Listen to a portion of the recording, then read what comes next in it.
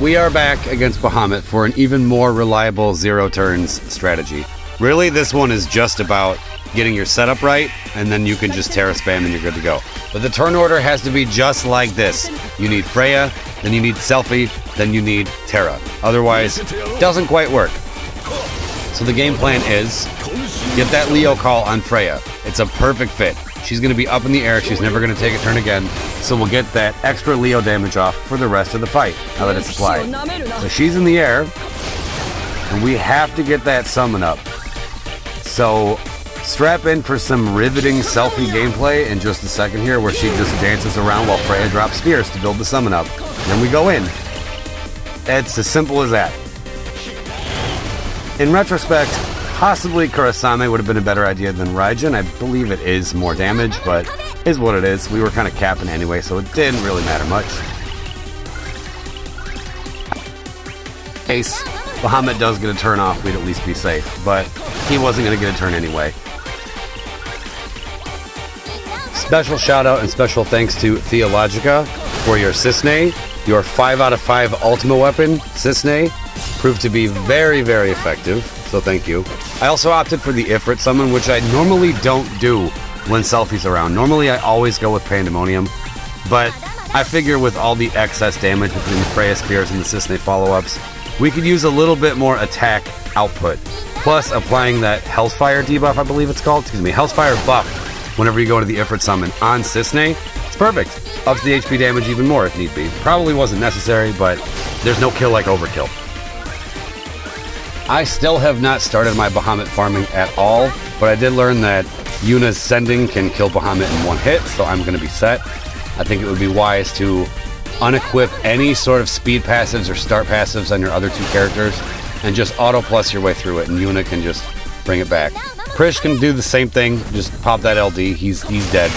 I didn't get Prishe though, but I'm not going to need her. It's still going to be one hit kill farming from here on out. I just haven't started it yet, but I got plenty of work cut out for me, I guess. Now that it's been a few days, I've been able to see other people's clears and see how they're taking this out. Quistis seems to be a very popular character for this stage, which makes sense when you have delay and delete immunity. Quistis can just bypass that, so Bahamut can never get a turn. So consider Quistis if you haven't done this yet. Machina is another very popular for this for, for very good reason because his single target damage is still just unmatched. It's okay, well maybe Prishe now, but Machina really is a sight to behold. He's out. He's the only crystal level 80 character that I've been seeing over the past few months that even holds a candle to all these C90s. He's even he's out damaging most of them still. He doesn't need C90. He doesn't need an ultimate weapon. Machina just shreds no matter what. He's a very very good character. I'm also seeing a lot of people pairing him with Snow to get what I'm hearing called Snow Reflow going with that Snow BT effect. Very good pairing with Machina. Very good. Okay, so now that we have Selphie's debuff applied, it's all about keeping this turn order right. So Terra, you just drop an HP attack since you're going to get another turn in this summon anyways. And then Selphie, you are going to get out of here, and Cissnei is going to pop in here. So that way, yeah, we can be sure that Terra carries us out of the summon turn free. So we might as well just pop two of these just to drop the spears and stall a little bit out of this summon. There we go. Perfect. Perfect, perfect, perfect. So now the fight is already won. There is nothing to worry about now, really. Just make sure you you do your ah can't talk. Just make sure you do your Terra rotations properly. Don't bother pressing Meteor. Meltdown all the way. It's going to be more damage, especially with this Leo with this Leo call ability up. The fight is already won at this point. Now it's just a matter of time. Now we just slog through 86%, and we should be good to go. In fact, I, I think most people could get this done faster than I could. I only have a 0 out of 5 ultimate weapon, as I detailed last time with Noctis, but I forgot to even give it to Terra. So Terra's doing this without an ultimate weapon at all. So I know most people invested in the short sword. Just give that to Terra and this will be done even faster. Zack is another very popular character for this fight, which is no surprise. He seems to be a popular character for every fight because he's just that good. Zack is insanely strong, and you kind of can't die with him around. Okay, well, you can in some situations, but you are ridiculously safe with Zack around, and he does a shit ton of damage, so consider Zack too if you haven't done this. He's another great option. but realistically, no boss turn strats for this fight are just the way to go. Bahamut's orb only counts down when he gets a turn, and the fact that it can only go up to three means they're just begging you to no boss turns this thing. So why waste any time? Just spam your way through it. You do need a lot of damage though because Bahamut has six. I just said Bahamut. Jesus, Bahamut has 60 million HP. That's a lot. So bring heavy hitters. Seriously. It is strange though. You would think that they would gear up Bahamut a little bit more for battle. It's Bahamut. You did, I didn't think he'd be such a pushover, especially compared to other summon fights like, say, I don't know, Shiva, which is by far the worst one for the Divine Summons. Nothing else even comes close to that Shiva fight. It is cancerous, but this is a walk in the park. In general, it's a walk in the park, especially compared to some Divine Summon fight like Shiva. That one, that one is still, still pretty brutal. But I have to say, I do envy people who haven't done that fight yet, and they happen to have Zack BT.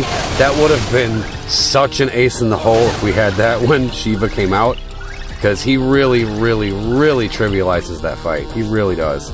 I mean, you know, you still got to be somewhat careful, but as far as all of Shiva's BS mechanics, Zack just eats all of them. It's really just easy street with him around it does seem like these divine summons are flying by. It really does. Like I was losing track of time of how how many of these we've gotten already. If I'm not mistaken, the only divine summon we haven't seen yet is Odin. Well, and Chocobo and Sylph don't even they're, they're not summons. They're just don't don't talk about Chocobo and Sylph. They don't count. Okay? That that's not they're not even part of the discussion when we talk about this. So don't don't don't well actually me about that. We're not going to get divine a divine Chocobo fight watch that watch Square does it and proves me wrong one of these days. But those two have been neglected for so many years that I don't think that there's going to be any sort of uh, revamping of Chocobo Sylph. They never give us materials to upgrade them anyway. Most of us never even use those summons unless we're trying some weird strategy where you need to get the summon up like immediately because those summons build faster. But other than that, like nobody uses them, and nor should they. Don't forget the Mog Summit. Shut up. Just, just stop. Enough. I'm a little torn on what to do with upcoming banners. And by upcoming banners, I mean one in particular. I mean Sice. I want Sice. She just seems like a badass. She just seems like she'd be cool to have. I don't know how much I'd use her, but I just think her whole aesthetic and everything, she just looks so fucking cool. Like, I, I want her around, but I don't know. Yuna kind of Yuna kind of, you know, ran me dry here, so uh, we'll see about that. And I realized, okay, last time I said that I spent 400k for Yuna, I misspoke. 400 G tokens. I didn't spend 400k on one banner. I've never even had 400k. No, I did not spend 400k gems for Yuna. No one even corrected me on that. Well, somebody did, but... and she was right. She's like, wait, what do you mean you spent 400k? I'm like, oh, shit. That's not what I meant. Thank you. My bad. I'm so happy that I'm still using Freya. I'm so happy that she's this good. Like, I knew she'd be good, but she's way better than I thought she was. Don't you love that? When a favorite character comes out or gets upgraded or whatever, and you pull simply because they're a favorite, and then upon playing them, they end up actually being better in game than you thought they would be. That's always such a blessing. And I feel like I got that with Freya, so I'm very happy. I mean, look at this. I love her. Okay, we got, obviously, the Cissnei damage. And then, okay, we don't quite have Max Brave. Oh, boom, thank you, Freya. We're completely capped. You're the best. I love you. This setup really is oppressive and cheesy, though. Like, holy shit. Like, this is not fair at all to do to a boss, but who cares? They don't play, they don't play fair sometimes either, so why should we? I feel like it's been way too long since I've used any kind of Mega Man X music. So here we go. Although this is the Marvel vs. Capcom 3 version of Zero's theme. I figure Zero turns, Zero's theme seemed appropriate. It's not the first time I've even done that.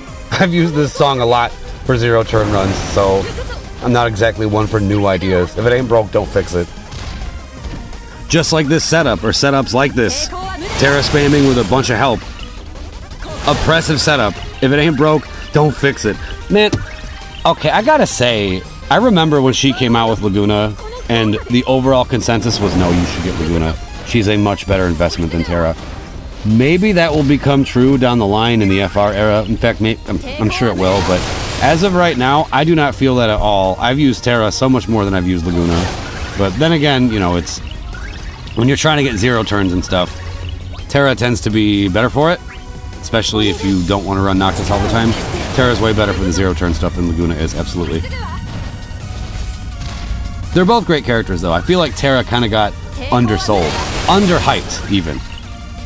Like, I don't know. I, I know I've talked about this before. But it was, I don't know, people were talking about her damage, like, she doesn't do that much damage, but yes, she does. It's just, it just takes a little longer to do. Because, okay, I don't look at it as just damage per action. I look at it, I look at it as damage per turn on the count. We are doing all this damage without adding a single turn on the count. Like, okay, I get it. You don't have to get zero all the time. Like zero is just something that people like to do for fun here and there. But then people will say things like turn count doesn't matter. Well, yes, it does. Like, it absolutely does. In every single stage that we have ever gotten, we have certain stage requirements. You know, usually it's don't get killed.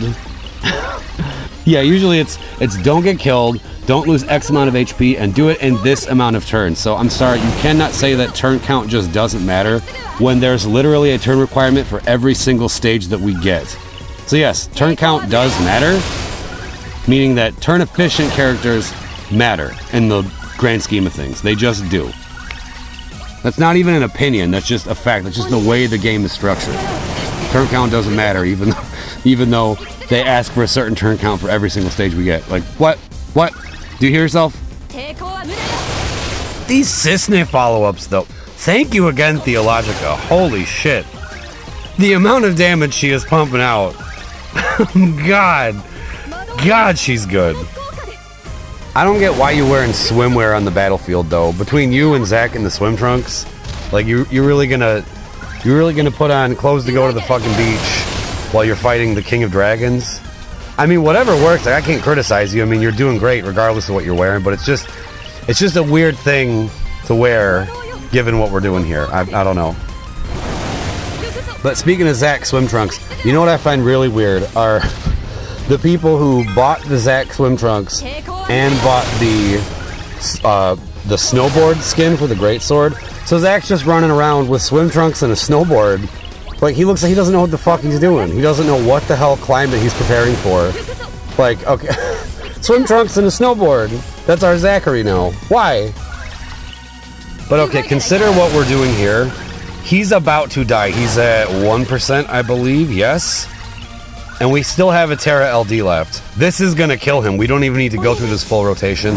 And I didn't even bring the ultimate weapon. That is not to brag, that is to illustrate how painless this setup is for this stage.